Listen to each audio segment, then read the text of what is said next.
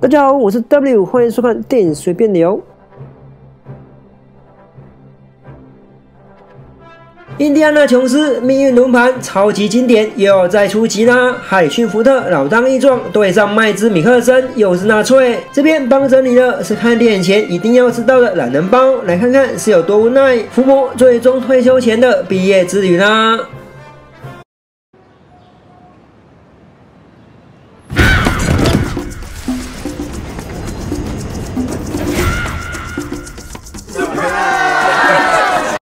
命运龙盘转呀转的，到底要转到哪个方向呢？很快电影要上映了，前面没有预告分析没关系，赶在电影上映之前，W 还是来帮整理一下懒人包。嗯，海逊福特最后一次的大冒险了吧？系列电影的最终章《印第安纳琼斯命运龙盘》，资深的影迷应该会是很有感，远望满满的怀念感。这边 W 不只是要来介绍这部电影的精彩看点，也是要来小回顾一下印第安纳琼斯一系列的经典。哈，说起来呢，我们的福伯绝对不是缺钱，也根本完全不需要再靠拍续集来撑高自己知名度。年纪都已经是过八十了，真的开着电视睡着，预告这一幕大概也就是我们福伯一般日常的写照，就是要来为这个系列做出一个完美的 ending 吧。电影剧情看起来是很贴近这样一个状况，也看到了年纪已经大的印地要从大学教职退休，但人生总是有意外，刚好干女儿跑来找他，没有错，由此又是触发了印地另一次的 大冒。冒险啦！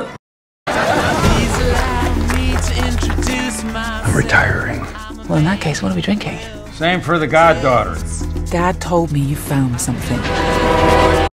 或许眼睛比较尖的朋友会注意到，像是印地他家怎么还是小小台真空管的黑白电视？怎么大家也包括办公室的人穿着都这么复古呢？还是要来帮科普一下，这部背景其实不是现代。事实上，我们男主印第安纳琼斯出生在一八九九年，生日在七月一日。W 也来预祝他生日快乐。真的过几天就他生日了。然后推算起来，剧情设定在一九六九年，印地大概七十岁左右。这年代大多年轻网友那时候应该也都还没出生吧。所以呢，不管外在情感因素或电影剧情的本身，想必都会是给大家一种满满经典复古风喽。而就在办公室帮印地办一个惊喜趴的这段，这一位说是印地的干女儿，由菲比沃勒布里奇饰演海伦娜也跑来找他，提到了他老爸说印地过去找到的某样东东，什么东东？等一下就会看到。但大家知道他老爸是谁吗？什么逃北琼斯饰演巴兹尔就是海伦娜老爸？哈，这面目原来是九头蛇的阿尼姆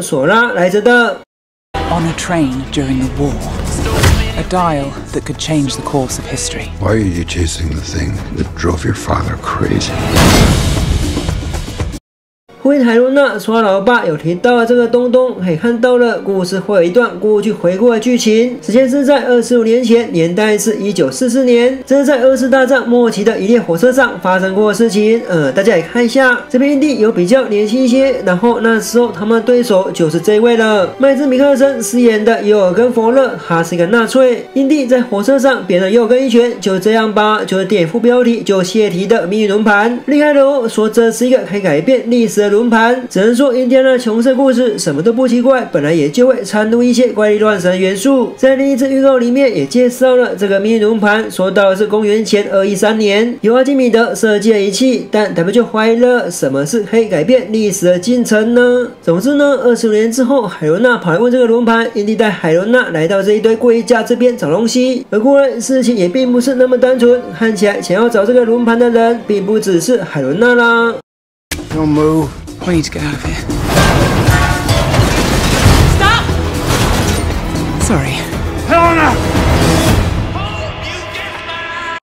剧情发展可以想象得到，关键时刻都有人出来乱，并不是由海伦娜在找轮盘，或者说是海伦娜把坏人给引到这边的。没有意外的，这一段就看到了老了之后的尤尔根，而更令印地压抑的海伦娜关了闸门，她被干女儿给出卖。海伦娜带着轮盘趁机绕跑了。也来帮大家小回顾一下印第安纳琼斯系列电影，从最开始一九八一年的《法怪骑兵》这是第一集，接着一九八四年的《魔宫传奇》，一九八九年的《圣战骑兵》，中间比较小可惜的一。过了十九年之后，二零零八年才推出第四集《印第安纳琼斯水晶骷髅王国》。看起来呢，呃，没那么顺利。原本应该是有打算让希亚里毕福来继承的意思，但也没想到，大家可以去查一下，希亚里毕福就这样又在过了十五年之后才推出了这部迷龙盘。哈，另外也是蛮有趣的，真的跟纳粹很有仇。五部电影，包括这一部，竟然就有三部都对上了纳粹。Dr. Jones, get him.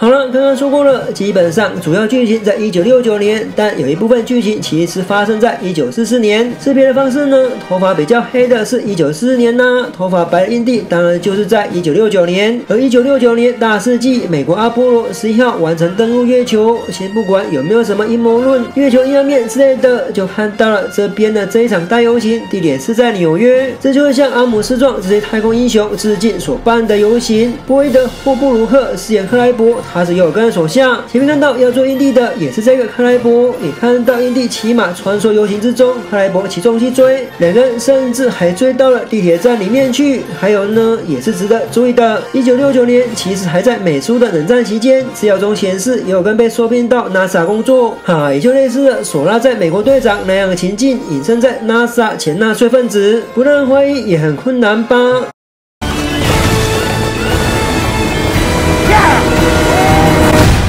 Hitler made mistakes, and with this, I will correct them all. You stole it.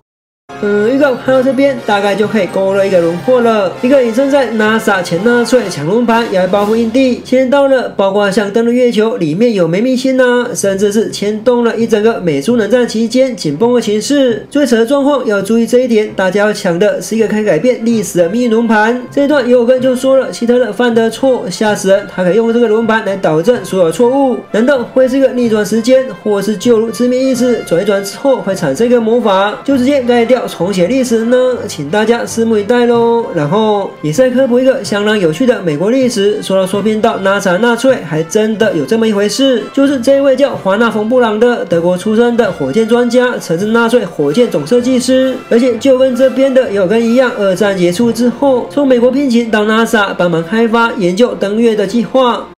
Then you stole it. And then I stole it. It's called capitalism.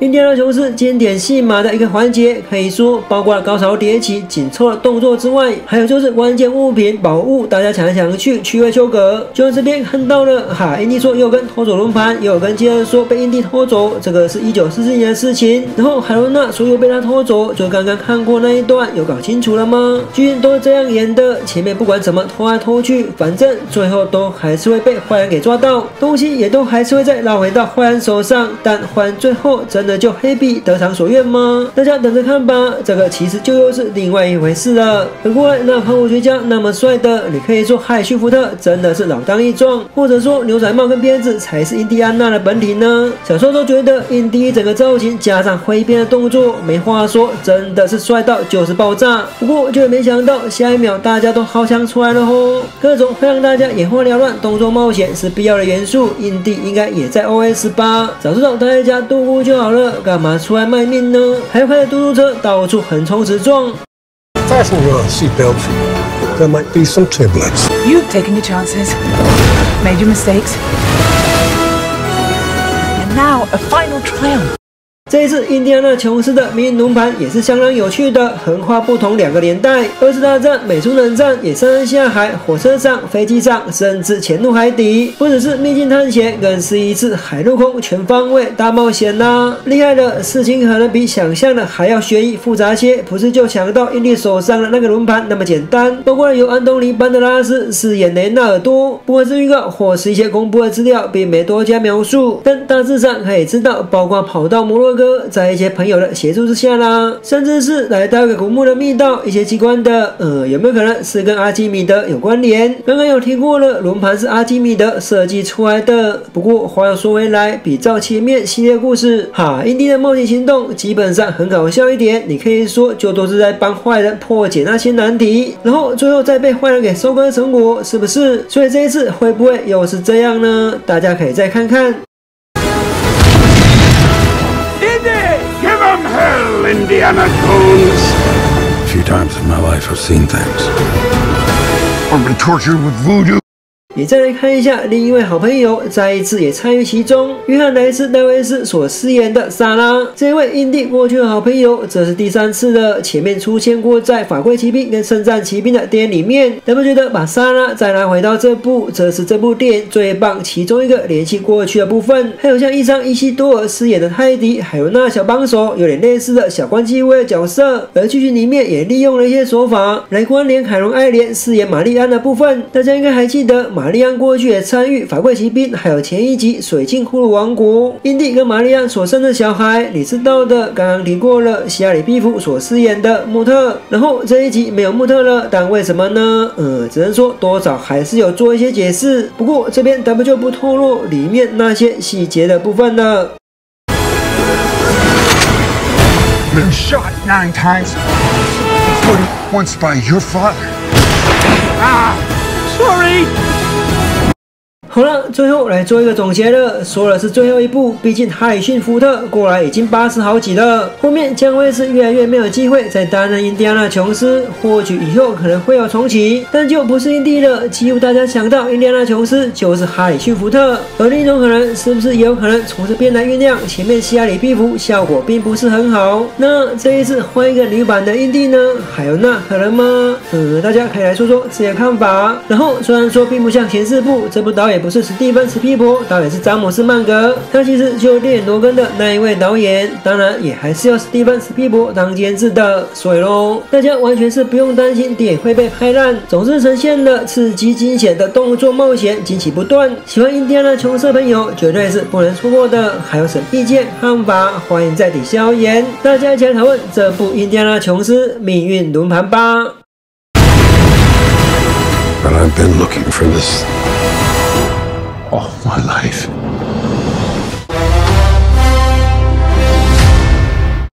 以上就是我的介绍，如果觉得不错，可以在下面帮我按个赞。如果喜欢，欢迎订阅我的频道。有什么想法，大家也可以一起来讨论电影哦。那就先这样喽，拜。